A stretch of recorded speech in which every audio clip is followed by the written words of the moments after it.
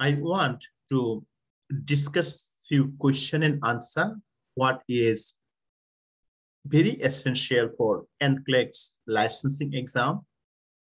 By this question and answer, I want to print something in your brain and that helps for licensing exam. The first question here, a nurse is assessment a client abdomen. Identify the area where the nurse should place her hand to palpate the liver.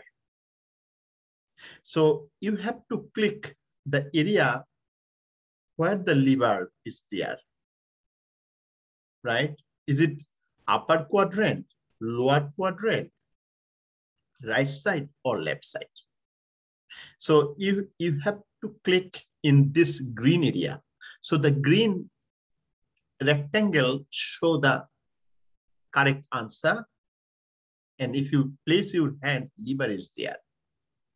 So in this picture, we can see the abdomen divided in six region, right upper or right hypochondriac, left hypochondriac, so liver is occupied right upper side or right upper hypochondriac region, but left side we get spleen. In between we get stomach, also part of the liver, epigastric area. Then we can see left and right flank or lumbar region here in between intestine.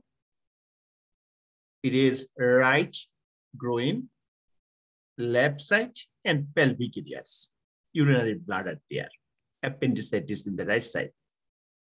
So the examiner asking about the liver, palpate the liver, right? So some chronic liver disease, like imagine carcinoma liver, liver get bigger, or we call hepatomegaly. But in cirrhosis, the liver is very small, not large. A normal liver may be palpate on deep inspiration in very thin people. Right?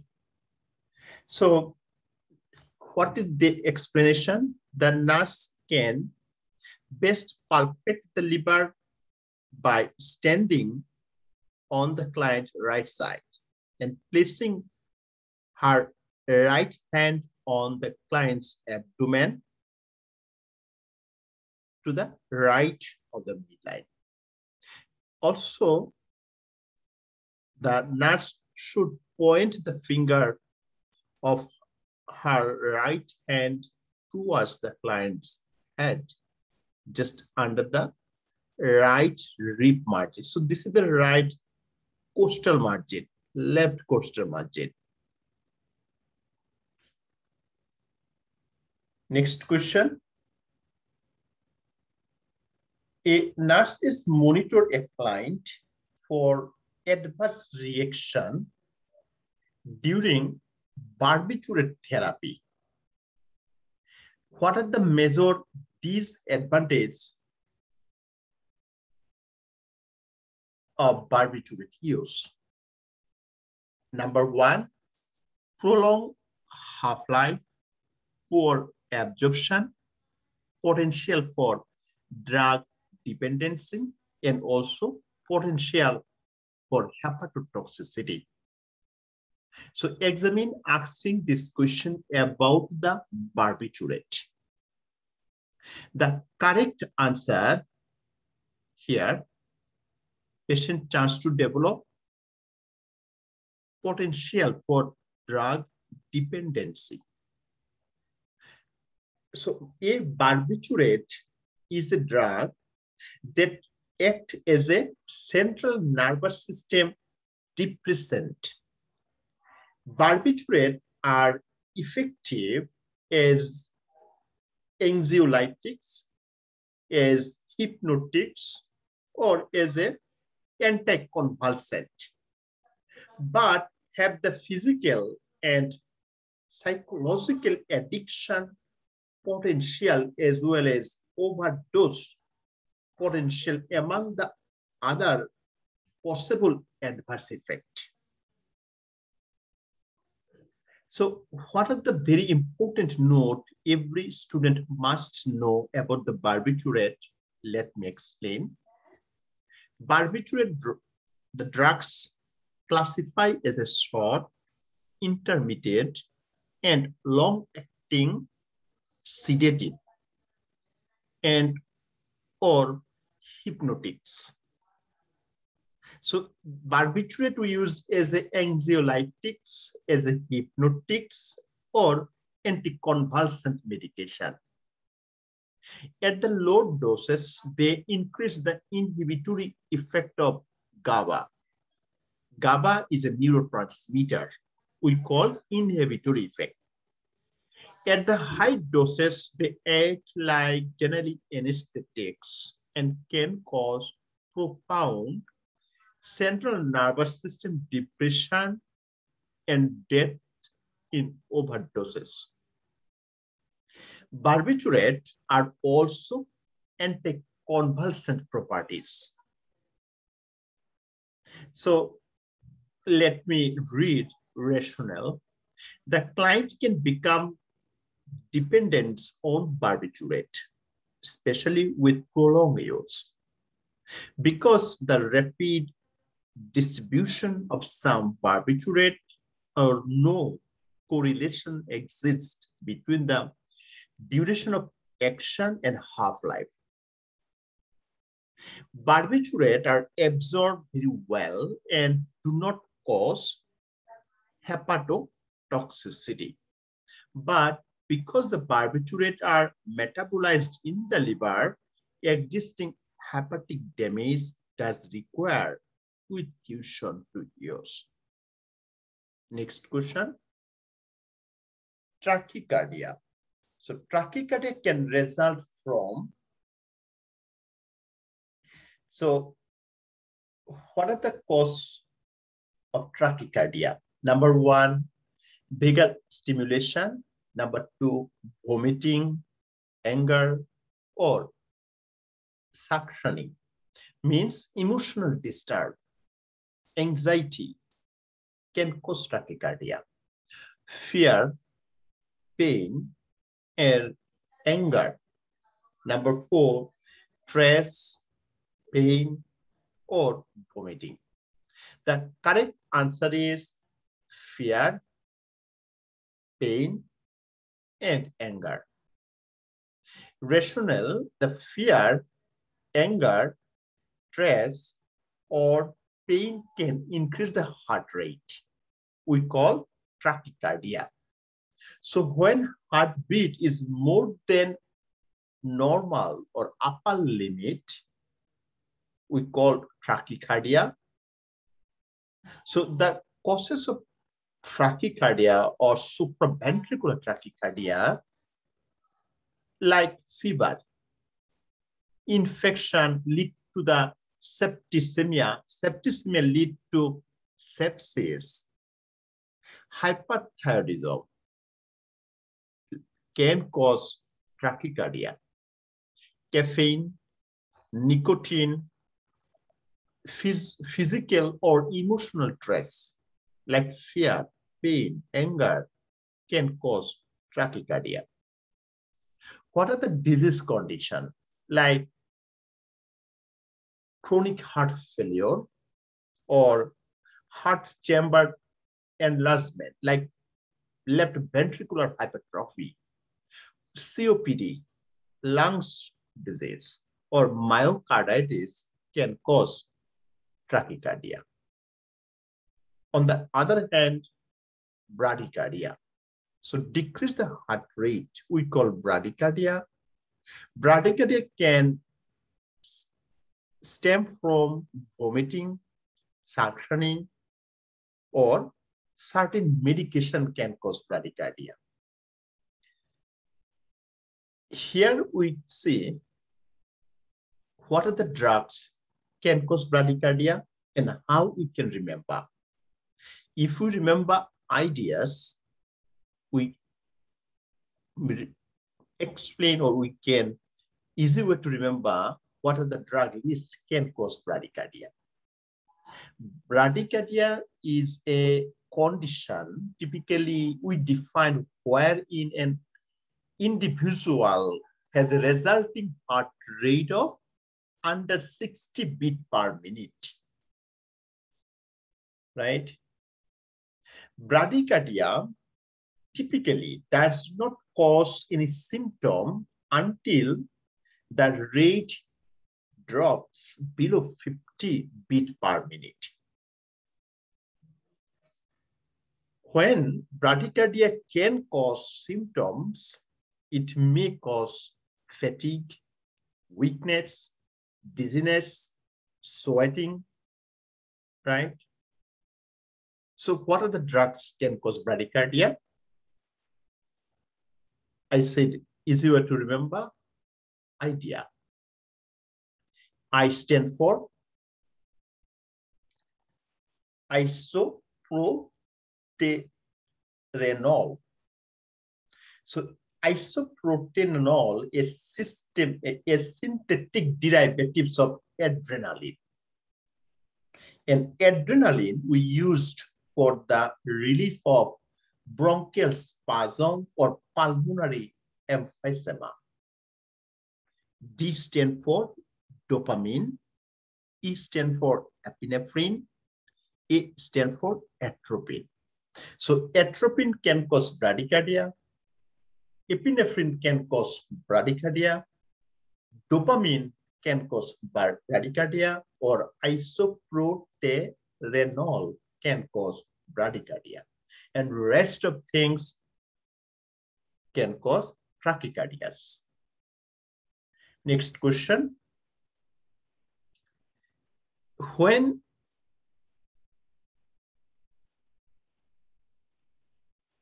ausculting a client's chest, the nurse assessment a sound we call a second heart sound or first heart sound. Examiner asking what the reason or result can cause second heart sound, right? So we have a two heart sound, S1 and S2. So S2 is produced, number one, opening of mitral and tricuspid valves Number two, closing of mitral and tricuspid valves. Number three, opening of aortic or pulmonary valves. Number four, closing of aortic or pulmonary valves. The type answer is S2 close, big closing of aortic and pulmonary valves. Right? So in the here the picture we see this is the pulmonary valves tricuspid valves mitral valves and aortic valves so first heart sound is one is caused by closure of mitral and tricuspid valves at the beginning of ventricular contraction. Let me recap it. S1 heart sound is a low frequency sound. And it is occurring at the beginning of systole, right? At the beginning of systole. And S1 is best heard over the apex, right? And using a stethoscope bell or diaphragm. The first heart sound is caused by turbulence created when the mitral or tricuspid valve closing, right? And second heart sound, basically when produced, right? Second heart sound produced closure of aortic and pulmonary valves. And S2 is the sound of aortic valve making when it shut down at the end of systole. So end of systole, right? Or, or end, the beginning of diastole, right?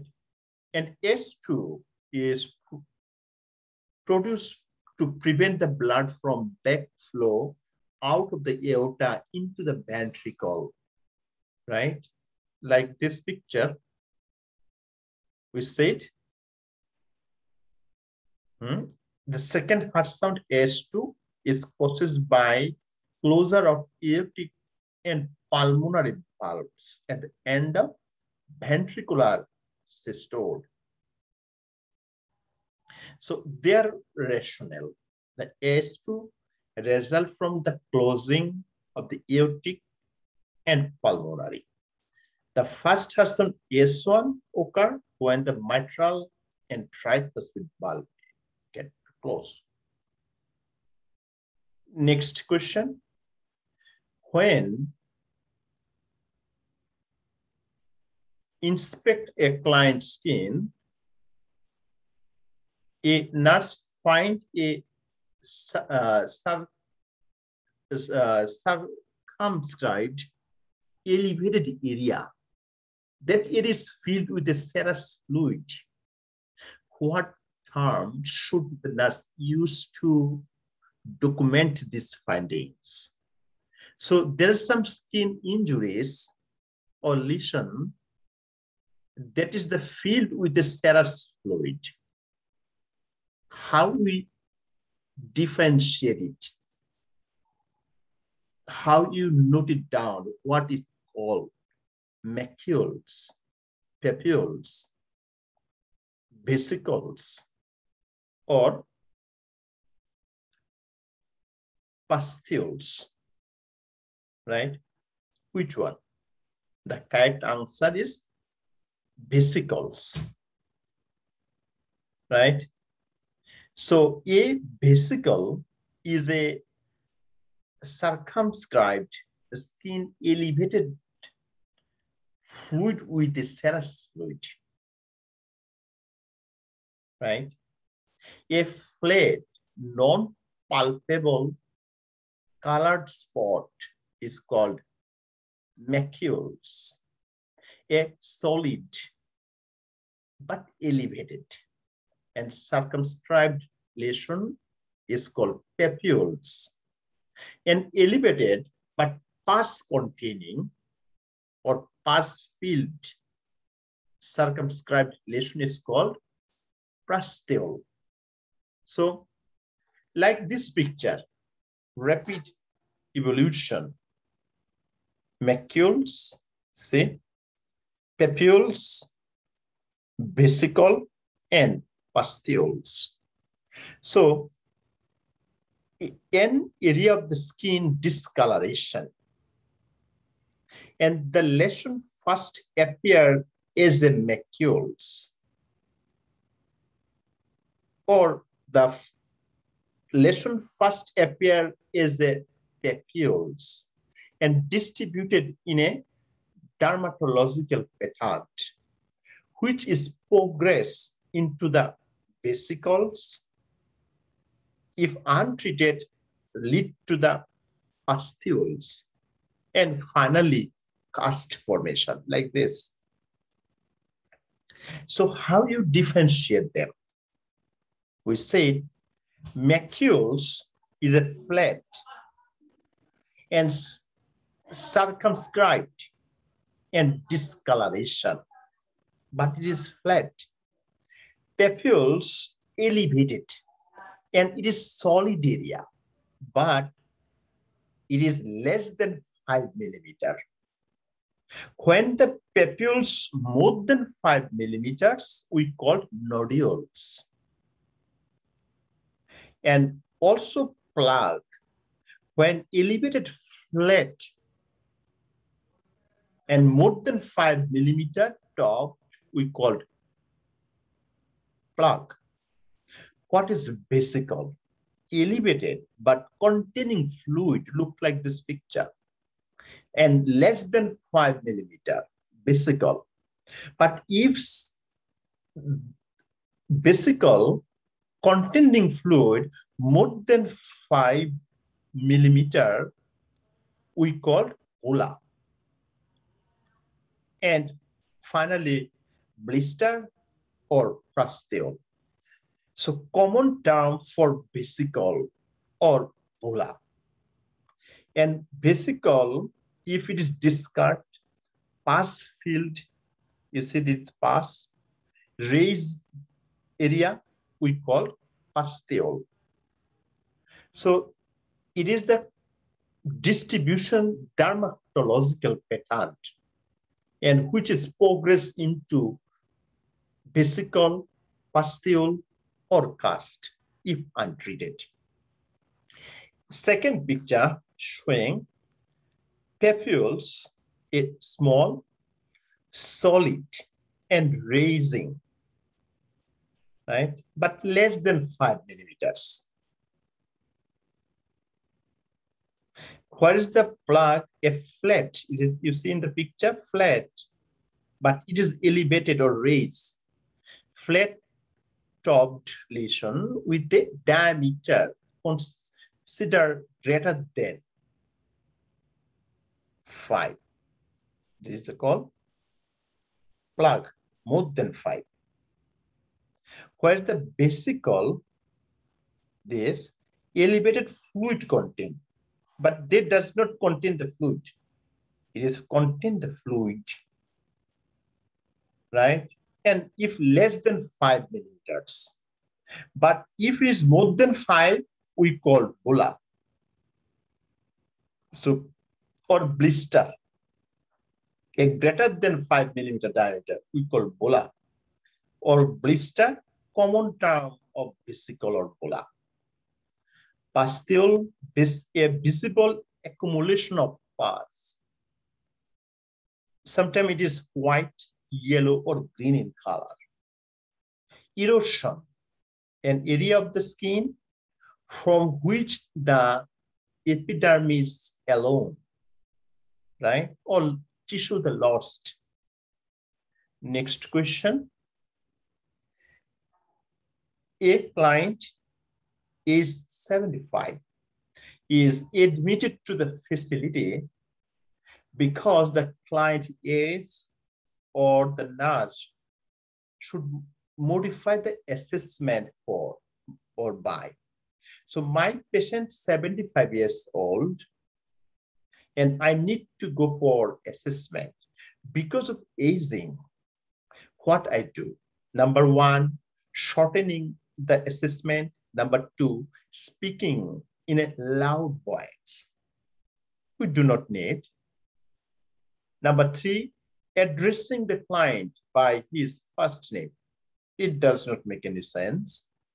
Number four, allowing extra time for the assessment. Wonderful choice, right? So correct answer, you give extra time. You have to be patient. You have to be a good listener right? And before assessment, make sure your patient is comfortable with you, the therapeutic way of communication.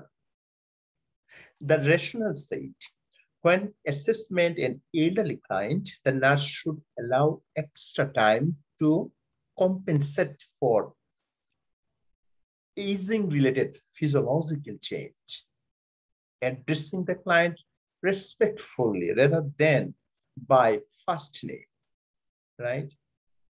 Also give the simple instruction, simple, not complicated.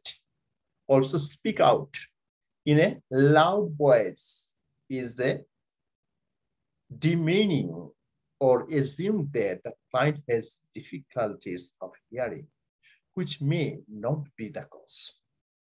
Next question two days after the undergoing of total abdominal hysterectomy. So uterus is totally removed. We call hysterectomy. A client complain of left calf pain. So a patient came to the surgical unit after a major surgical operation like hysterectomy. Definitely, most of the times they have to take the bed rest. So during this time, chance to develop deep vein thrombosis because of immobilization. So the client complained left calf pain and venogram revealed the deep vein thrombosis we call DVT. When assessing the client, the nurse is likely to detect what, which of the signs indicate my patient has a deep vein thrombosis. Number one, pallor and colorless of the left foot. It decrease the left pedal pulses, loss of hair on the lower portion. Number four, left calf circumference larger than the right. So number three is never the answer, right? Because deep vein thrombosis develop because of immobilization. It not a chronic disease. Loss of hair for lower portion, it should be lower standing disease like gangrene, ulcer, peripheral vascular disease, right? So best response, left calf circumference larger than the right.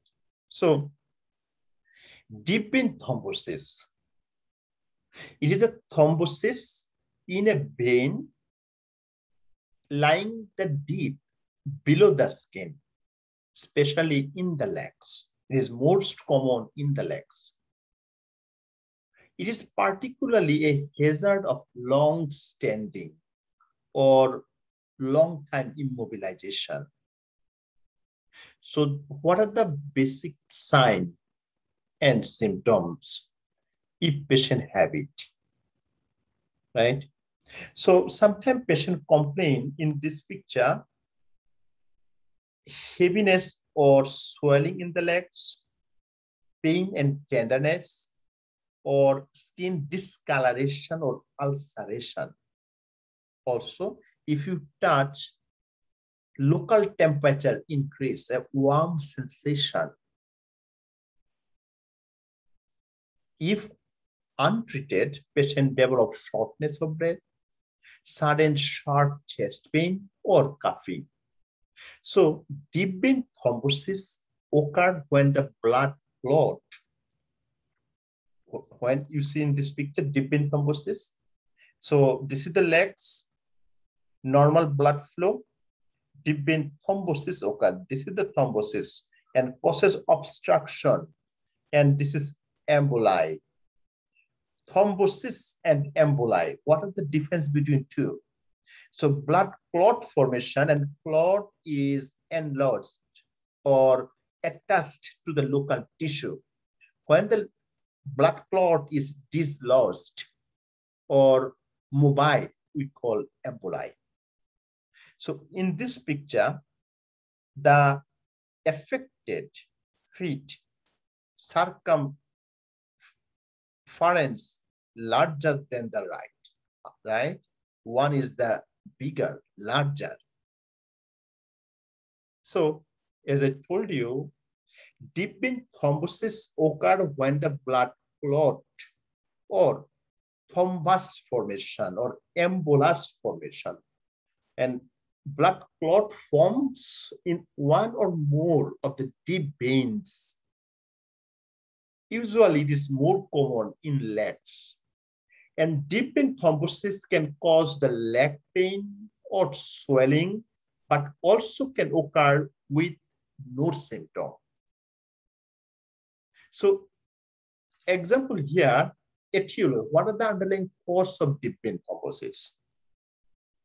Maybe trauma, maybe patient give the history of hormonal uh, disbalance or patient give the history of taking oral contraceptive pills road traffic accident, immobilization, operation, surgical operation like cholecystectomy or hysterectomy, malignancy, blood disorder or polycythemia, obesity, old age, orthopedic surgery, serious illness, immobilization or splenectomy, means surgically remove the spleen.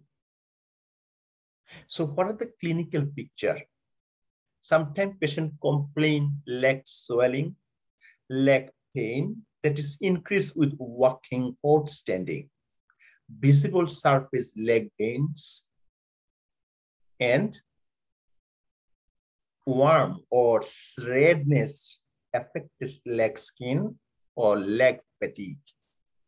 So you can get deep vein thrombosis if you have a certain medical condition. And that medical condition that affect how your blood clot. Right? So now question come, how we examine the patient legs and how we prevent deep vein thrombosis. A simple technique, and this is called Homans sign. So Homans sign can help you to find out if patient has a any deep vein thrombosis or not. So significant sign and symptoms basically including the pain and swelling in involving extremities or calf muscle tenderness. Also positive Homans sign, right, indicate patient has a deep vein thrombosis. So here I said Hoffman sign, the calf pain in dorsiflexion of the foot. Next question. A student nurse working with a registered nurse is assigning a child with a epiglottitis. It is a condition where the cartilage is covered with a epiglottis because of inflammation, swelling, or brokening the flow of air into the lungs. We called epiglottitis. The student nurse tell the child that she must look into his throat, which intervention by registered nurse is most appropriate. Number one, hand the student nurse a flashlight and tongue blade. Number two, give the student nurse a sterile tongue blade. Number three, tell the student nurse that registered nurse will visually examine the child throat. Number four, tell the student that anesthesiologist will visually examine the child throat. Epiglottitis is a life-threatening condition. It's very important the deal with a specialized person. The correct answer is number four. Tell the student nurse that anesthesiologist will visually examine the child throat, right? So rational said, direct visualization of the epiglottis can trigger completely airway obstruction. So only an anesthesiologist or a physician skilled in pediatrics intubate may perform this procedure. So this is the epiglottis. So when this epiglottis is inflamed, we call epiglottitis. It is swell and block the flow of air into the lungs and result is difficulty of swallowing. So in this picture, we can see normal anatomy of the larynx, So this area, this is epiglottis. So when it is swell, this pathway get narrow, no air passing, right?